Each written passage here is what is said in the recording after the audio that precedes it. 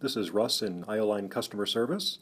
Today I'm going to walk you through how to create a kiss cut using Corel Draw uh, and then going into the 301 software to create which layers I want to cut and then finally to cut it on the Ioline 300 cutter. Uh, so without any further ado, let's go ahead and get started. First thing I'm going to do is open Corel.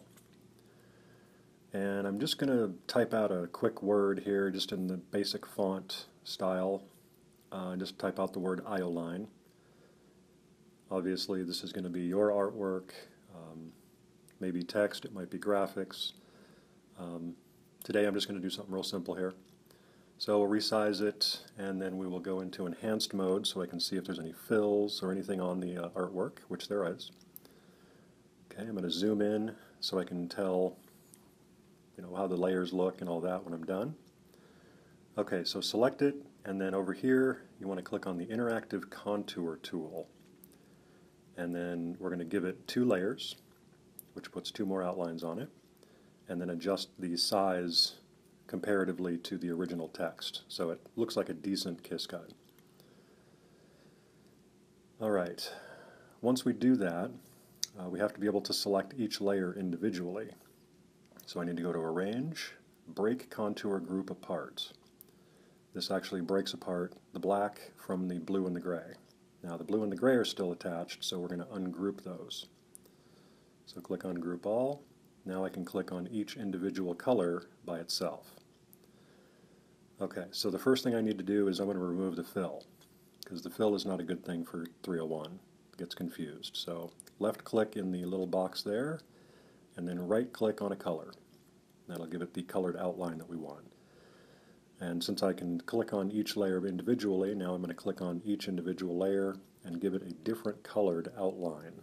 So I'm going to go blue on the outside, green on the inside, and red on the on the in inside.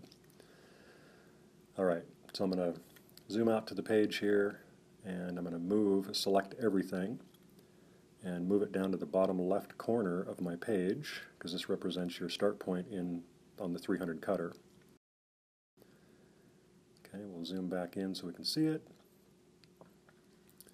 And then simply uh, we want to make sure that everything is selected because you want to export all the layers together. So just draw a box around it with your pick tool and then go to File, Export. Now this is the this is the box where you change the name, you tell it what kind of file it is, and you put it in a place where you can find it again. So this is the most important part. Remember where you put this file. And make sure selected only is checked and that you've got PLT as the file type. Alright, once you hit export, you're going to get a third box, or second box that opens. And the only thing to make sure of is it says bottom left, and under advanced, none of these are checked. This says none, and your curve resolution says 0.0. And then hit OK. Okay, now we're going to go into the 301 software. So we'll double click on the 301 icon. That'll open the software. Might take a second. All right, and I've already got this set up in the same folder, so here's my file.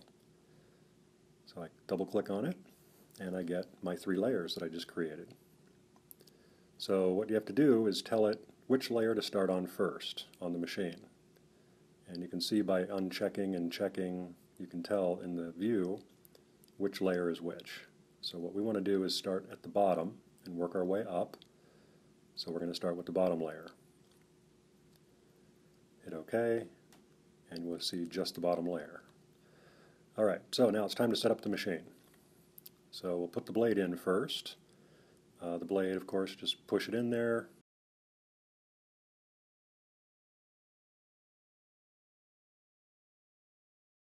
Uh, don't use metal or any kind of a surface to push that blade in. Just use your fingers and then make sure the blade rotates properly with your finger and then put the cap on, but don't tighten the cap. That's the important part. You want this cap to be on just enough to cut through one layer of twill at a time. So what we'll do is adjust it so that there's just a little bit of blade sticking out of the cap. Okay. Then I'll just put some twill on the machine here and just you know make sure this is nice and smooth. Uh, any air bubbles trapped underneath it are going to create a place on the cut that doesn't like to cut through. So make sure that your sheet is free of any debris under it, no air bubbles get under there. Uh, I use a burnisher tool to get make sure that all the, the uh, bubbles are out. Uh, and then turn the machine on. And what we're going to do first is a test cut on another piece of twill that's sitting on top of this first piece that I put down. And by doing this, we can tell if it's cutting through one layer at a time or if it's going to cut really deep through both. So once the machine is initialized, just pull the tray forward a little bit. And I've got a junk piece of twill here that I'm sticking to the bottom layer. And then uh, move it over to a place to make a nice test cut and hit the test cut button. And it'll do a little square with a circle and a pie pieces and it should cut out nicely. So upon trying to weed it the first time, it doesn't look like I've got enough blade sticking out because it didn't cut all the way through. So we'll adjust the blade a little bit more and it's just the cap on the blade holder. then I redo my test cut and as you can see it looks pretty good. It's already come out by itself and each pie piece comes off one at a time without sticking to each other and you can see the impression of that cut in the background twill. And even by lifting the twill up, you can see that uh, it didn't cut all the way through. So that's a, that's a good test cut, and that means we're set. So let's pull the tray out, and we'll go ahead and start and cut our first layer. So i get a set origin on the machine, and then in the 301 software, we'll hit send to cutter and send. And this sends the job to the machine. And here we go, we're cutting out our bottom layer. Works pretty quickly. Okay. So once we get that first layer cut, what we're going to do is hit the start stop button to get a red light, pull the tray out, and put on your second piece of twill. Now this is pressure sensitive twill from Stahls. Uh, it's got this backing on it, you peel it, and it sticks to the previous piece that you put on there. Uh, in other situations you might have heat sensitive material, so you just have to heat press it to that as you go. Alright, now it's important to know that you have to hit the start stop button once you've got your second piece on there. If you hit set origin, it'll ruin the design. So back in the 301 software, we just need to switch our layers. So we turn off the bottom layer, and we turn on the middle layer.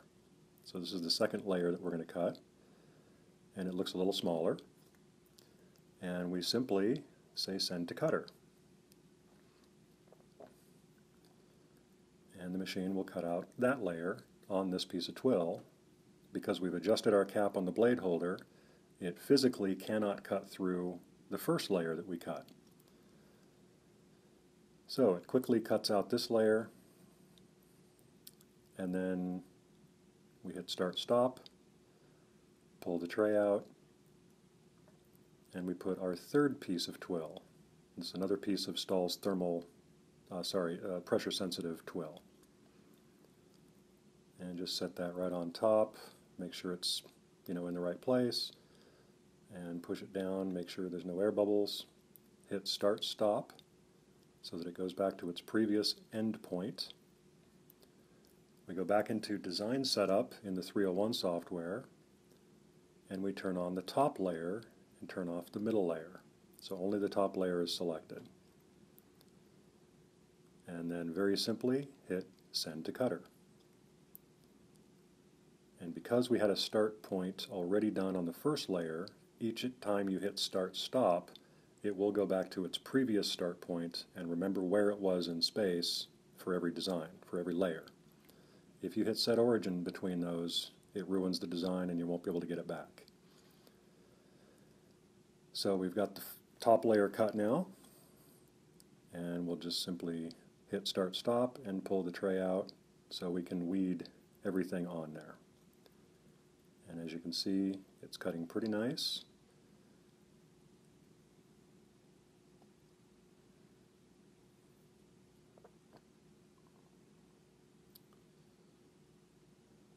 Just weed each layer as you go. Uh, sometimes things can stick to each other, so, you know, push them down if you have to. And then we'll do our third layer, or the first one that we cut. And that seems to come off very nicely. And then weed out all your individual holes, things like that, that uh, those are easier to pull out before you take it off the tray. And then all we have to do is slowly peel this up off the tray. Now I used a high-tack sheet. Um, it's a little bit more difficult to pull the twill off of a high-tack sheet when it's got a kiss cut like this, so you want to be kind of careful as you pull it off. It might make the other layers, you know, not registered with the other layers. I mean, it's kind of difficult sometimes, but uh, medium tack sheets work a little better for this. Uh, they don't last as long. But as you can see, we've got a nice kiss cut there, and uh, this would be very easy to create a sew file for and have it sewn down. And so that's what we're going to do next, is create some stitches for this file. So um, let's uh, start by going back into the 301 software. And uh, we've got our top layer visible here, so we're going to hit the Create Stitches window. And uh, we don't need a placement stitch for the top layer.